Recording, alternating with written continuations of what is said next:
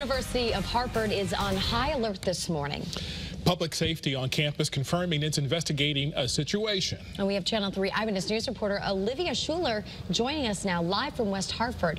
Olivia, what do we know right now?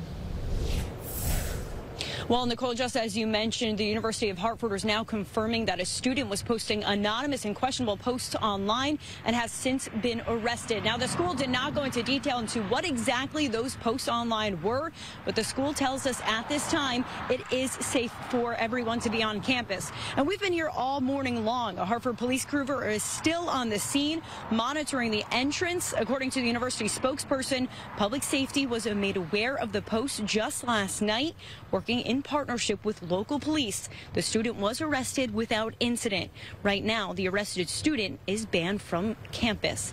That's the latest information we have out of West Hartford. We will keep you updated on air or on the Channel 3 News app if we learn any more information. Reporting live in West Hartford, Olivia Schuler, Channel 3 Eyewitness News. All right, thanks for that, Olivia.